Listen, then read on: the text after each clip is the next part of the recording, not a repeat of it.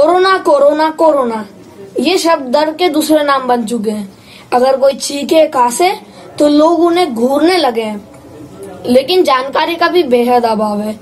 अब अगर पूछा जाए कि किसी को कोरोना हो जाए तो कैसे पता लगाया जाए? हमें से कई लोग इस सवाल का जवाब नहीं दे सकते। तो इस वीडियो में हम इसी टॉपिक को क्लियर करेंगे। तो वीडियो को पूरी एंड तक देखना मत भूलिएगा। मेरा नाम है सार्थक जैन, और चलिए वीडियो शुरू करते हैं।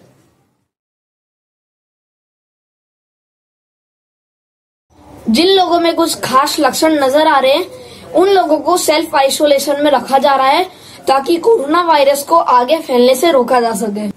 अगर आपको बुखार है या लगातार खांसी हो रही है तो आपको और आपकी फैमिली को चौदह दिन तक घर में रहना चाहिए।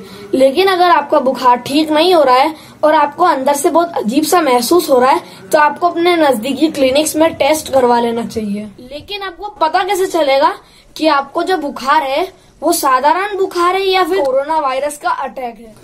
दरअसल कोरोना वायरस के दो प्रमुख लक्षण हैं। जो सबसे पहला है, वो ये है कि लगातार सूखी खांसी आना और दूसरा है, बीमार हो जाना। अगर किसी में ये दोनों लक्षण हैं तो उनको सावधान हो जाने की ज़रूरत है। अगर आप बहुत ज़्यादा छींक रहे हैं, या आपकी नाक बह रही है, या आपको थोड़ा सा भी सिर दर्द हो रहा है तो आपके बुखार आने के चांसेस बढ़ जाते हैं। लेकिन इसका मतलब ये नहीं है कि आपको कोरोना वायरस हो जाए। आपको डरने की बिल्कुल ज़रूरत नहीं है। दरअसल इसका मतलब ये है कि आप खास रहे हैं, लेकिन कोई भी बलगम नहीं आ रहा है। यानी कि टिश्यू में कोई भी चिपचिपा पदार्थ नहीं दिखाई दे रहा है। लगातार खांसी का मतलब है कि आप बार बार खांसे जा रहे हैं, यानी कि आपको अपना गला साफ़ करने की बार बार ज़रूरत महसूस हो रही है। और कैसे पता लगाया जाए कि आपको जो बुखार है, क्या वो कोरोना वायरस वाला बुखार है? सबसे पहली बात, अगर आपको बुखार है तो आपको पता चल ही जाएगा। तकनीकी तौर पे अगर आपके शरीर का तापमान 37.8 डिग्री सेल्सियस या 100 फ़ारेनहाइट से ज़्यादा है तो आपको बुखार हो सकता है। अगर आपके पास थर्मामीटर नहीं भी है तो आपको अपने शरीर को छूने पर पता चल ही जाता है, या फिर आपको अंदर से महसूस हो ही जाता है कि आपको बुखार जैसा लग रहा है, या फिर कोई आपकी बॉडी को छूता है तो उनको भी पता चल जाता है कि आपको थोड़ा सा बुखार जैसा लग रहा है।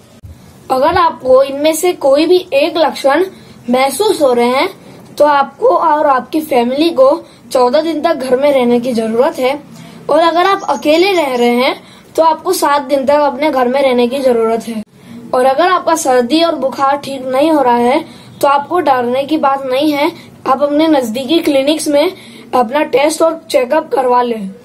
याद रखें, सावधानी ही बचाव। है इसलिए अपना ख्याल रखें और अपनी फैमिली का भी ख्याल रखें। दोस्तों, अगर आपको ये वीडियो अच्छी लगी हो तो वीडियो को लाइक कर दीजिए और चैनल को सब्सक्राइब कीजिए ऐसी वीडियोस देखने के लिए। तो घर में रहिए, सुरक्षित रहिए।